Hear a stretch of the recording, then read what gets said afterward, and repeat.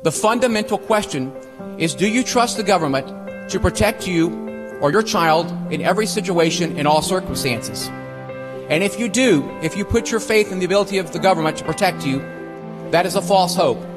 And to accept any guarantee that they will do so, that is a false promise.